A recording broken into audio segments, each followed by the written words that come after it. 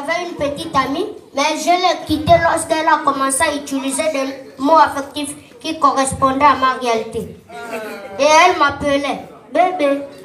Mais ça sonnait tellement vrai que ça me gênait.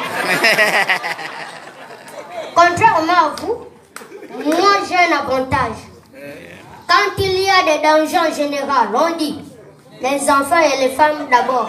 Alors, on profite. accouché, pour le trousseau, on a juste utilisé mes vieux habits. À la naissance de mon bébé, je vous assure, je n'ai même pas pu le porter. Mais on avait le même poids. Souvent, ma femme me confond au bébé. Un jour, je me réveille, je suis garnie de couches. J'appelle, chérie Coco, viens ici. Oui, chérie Mayombo, euh, tu m'as appelé. J'ai dit effectivement. J'ai dit, regarde sur moi. Qu'est-ce qu'il y a? Elle dit, il y a la couche. J'ai dit, dorénavant, si tu oses encore me confondre à mon bébé, je t'assure que je te virerai de cette maison. Et depuis, hein, elle a une stratégie pour me différencier du bébé. Elle regarde juste la taille des deux sexes. Oui. C'est un avantage pour moi d'avoir cette taille. Au moins, le jour du mariage, c'est ma femme qui devra me porter. Et souvent, il arrive de battre ma femme. Oui. Ça, moi, je m'énerve très mal. Je lui dis, baisse-toi, baisse-toi. Elle se met toujours à rire. Je ne sais pas pourquoi. Elle doit être mazo. Et un jour, les collègues de ma femme sont arrivés et ils ont toqué à la porte de la maison.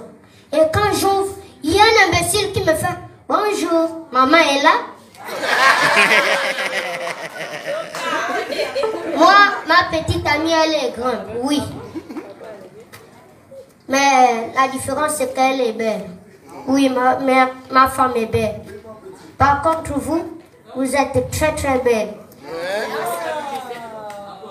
Je sais, vous étiez déjà fâché. Mais j'ai même envie de dire que vous me plaisez. Mais je sais, je ne suis pas l'idéal d'une femme. Parce que les femmes aujourd'hui veulent des mecs grands, beaux et forts. Je n'ai jamais vu une femme dire je veux un mec nain, moche et faible. Tous ceux qui acceptent de coucher avec moi, c'est juste par curiosité. Et remarquez bien. Ah oui, ah vous voyez, ce sont les retombées. Hein? Et donc c'est ça? Et il y a tellement de préjugés sur nous.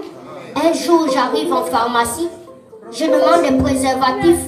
Et là, il y a une dame qui me dit, euh, les préservatifs de petite taille sont terminés. Je lui dis, madame, qu'est-ce que vous en savez?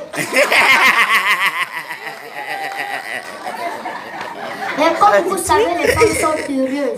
Elles disent, waouh, ah bon? Alors, passe le soir, on va vérifier tout ça.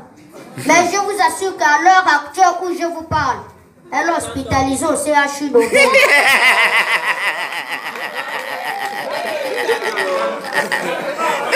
C'était Mayombo, de l'Union.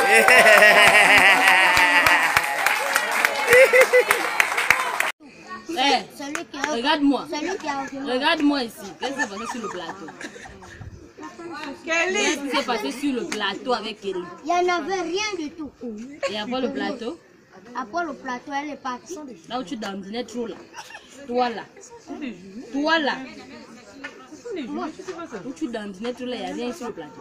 Rien eu. Il y avait, il y avait des témoins. J'étais témoin. J'ai- J'étais témoin. que. J'ai vu sur les réseaux maintenant qu'on collait trop vos photos là. Fais attention à moi.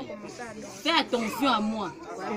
Fais attention à moi. Tu pensais que tu allais vivre là-bas. Tu es revenu non? Fais attention. J'ai dit fais attention. Oui, je comprends. Je comprends. Il n'y a rien eu. Même rien, il y en avait. Rien ne s'est passé.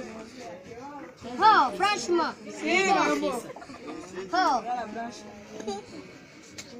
Viens ici.